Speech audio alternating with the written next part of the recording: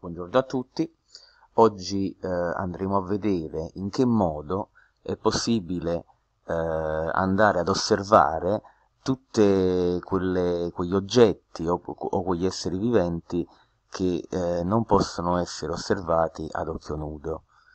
Eh, infatti abbiamo intitolato questa eh, lezione Esploriamo l'infinitamente piccolo. Eh, se andiamo a vedere la storia della nascita eh, del microscopio semplice, eh, possiamo eh, vedere che eh, il primo ad accorgersi che era possibile con una lente eh, andare ad osservare organismi molto piccoli fu eh, questo signore che come lavoro faceva il mercante di stoffe lui si accorse che eh, poiché venivano impiegate per eh, questo lavoro delle perle di vetro eh, per eh, esaminare in dettaglio i tessuti, eh, lui pensò di utilizzare queste piccole sfere per costruire un, uh, un microscopio rudimentale. Eh, questo microscopio era fatto da una lamina di... questo, è, questo che vedete in figura è un prototipo, una, una specie di modellino fatto con uh, uh, degli oggetti presi in casa, quindi delle viti, un pezzo di cartoncino e altri oggetti. Lui creò un, un oggetto molto simile a questo che vedete in figura, uh, fatto da una lamina di ferro, qui è, in realtà è, nella figura è dato da un, un cartoncino, una lamina di ferro su cui era praticato un piccolo forellino a livello di questo piccolo forellino eh, lui eh, posizionò questa eh, sferetta di cristallo che veniva utilizzato per esaminare le stoffe. In questo modo, posizionando poi eh, l'oggetto da osservare sulla punta, su questa punta di, di, di ferro, eh, e girando la vite eh, e mettendo a fuoco l'oggetto era possibile ingrandirlo. Ovviamente eh, l'ingrandimento era molto basso, però eh, pre- permetteva di ingrandire, di, anche se di poco, eh, gli oggetti che si vedevano, che si osservavano. Se andiamo più avanti, ci fu Hooke, eh, vissuto tra il 1635 e il 1703, eh, che ehm, durante l'analisi di alcune lamine di Subero eh, si accorse che queste erano composte da numerose celle. Se andiamo a vedere la foto, eh, tagliando trasversalmente il sughero, lui si accorse che eh, era formato da tante piccole celle. Ecco il nome, da questo è derivato il nome eh, cellula, ecco perché le, le cellule del nostro corpo hanno questo nome, proprio per il fatto che eh, osservandole al microscopio danno l'impressione eh, di tante cellette affiancate. Questo è una specie di eh, è un prototipo degli attuali microscopi che vengono utilizzati in laboratorio, come vedete molto rudimentale, con, legato con degli spaghi, eh, con gli oggetti che si trovava a portata di mano. Ma come è fatto il microscopio ottico, quello che eh, attualmente viene utilizzato nei laboratori? Questa è la struttura che normalmente si, si può osservare in, eh, in, qualsiasi laboratorio di, eh, di microbiologia, di, di, chimica, eccetera. In questo caso abbiamo soltanto eh, un oculare, detto così perché è il punto dove si posiziona l'occhio per osservare l'oggetto, ma andiamo a vedere gli oggetti che, eh, tutta la strumentazione che viene utilizzata per osservare eh, al microscopio. Allora, questa è la, questa è la strumentazione eh, tipica. Abbiamo una piccola spatola, un vetrino porta oggetti, una pinzetta, eh, un contenitore di, di, di campioni. Eh, questo è un vetrino dove già è posizionato il campione da osservare e dove sopra c'è anche, oltre al vetrino porta oggetti, c'è anche il vetrino copri oggetti che è di forma quadrata ed è leggermente più sottile dell'altro, una pipetta, quindi un contagocce, per, poi vedremo a cosa serve, e poi un adesivo per, per vetrini. Andando avanti, come si prepara il campione da osservare? Innanzitutto il campione da osservare deve essere molto sottile. Perché deve essere molto sottile? Perché poiché il microscopio si basa sulla, eh, sul fatto che la luce attraversi il campione, quindi giunga poi alla lente e quindi all'occhio, più sottile è il campione da osservare, più la luce lo attraversa facilmente. Quindi eh, bisogna fare molta attenzione a tagliare eh, il campione in maniera molto sottile, con una lametta.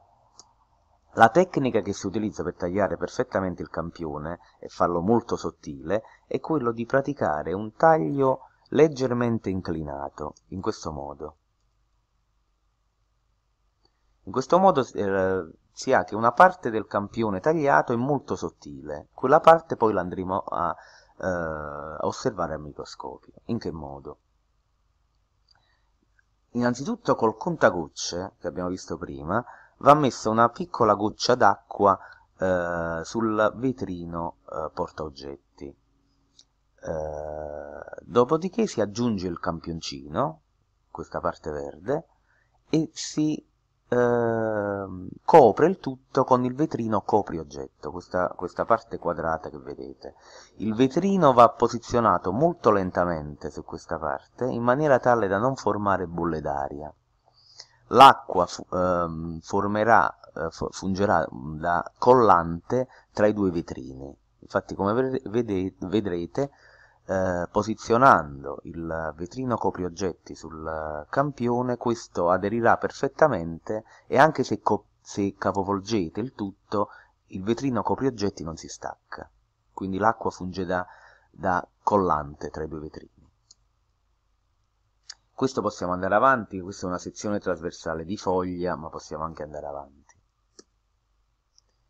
vediamo al microscopio una foglia di iris allora, perché abbiamo considerato una foglia di iris? Perché la foglia di iris è, mh, ha un'epidermide che è facilmente eh, separabile dal resto della foglia e quindi eh, possiamo andare ad osservare al microscopio molto bene la struttura dell'epidermide e, e, se andiamo a staccare l'epidermide inferiore della foglia si vanno a, ad osservare molto bene gli stomi anche. Ecco qui, questo è un ingrandimento eh, più, più, basso e andiamo a, ad osservare che qui si, oltre a eh, delle cellule che si intravedono, delle cellule molto affiancate che sembrano, danno l'impressione di una sorta di pavimento, tra queste sono disseminati gli stomi, che sono questi un po' più scuri. Se andiamo a fare un ingrandimento un po' più grande, vediamo ancora meglio gli stomi e vediamo anche, riusciamo a distinguere le due cellule di guardia degli stomi, queste due, questa e questa. Questo è un ingrandimento ancora più grande, dove gli stomi si vedono molto bene. Infatti, queste sono le cellule dell'epidermide, prive di cloroplasti. Invece queste due sono le cellule di guardia dello stoma, che contengono i cloroplasti.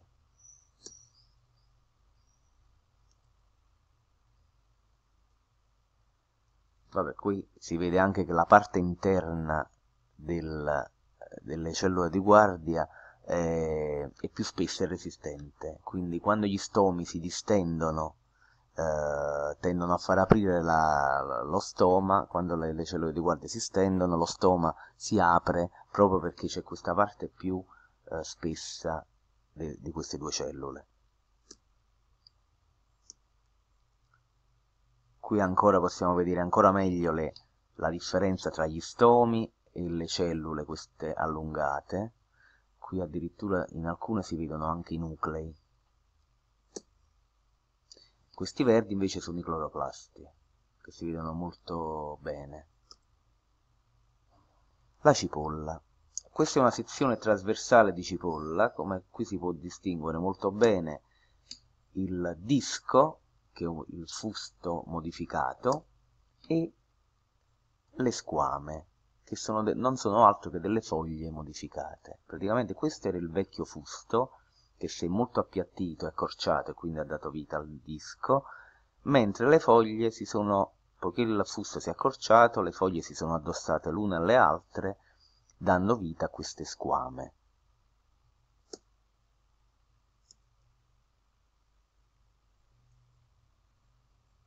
Se andiamo a vedere al microscopio le cellule di cipolla, in particolare l'epidermide di cipolla, anche qui andiamo a vedere che possiamo vedere che le cellule si dispongono in maniera da formare una specie di pavimento. Non c'è spazio tra una cellula e l'altra, questo evidentemente per evitare che eh, sostanze o patogeni possano penetrare all'interno eh, tra, tra, una cellula e l'altra e quindi eh, entrare all'interno del, della cipolla. Non bisogna confondere le cellule dell'epidermide di cipolla con le bolle d'aria, come per esempio in questo caso questa e questa non sono cellule ma bolle d'aria.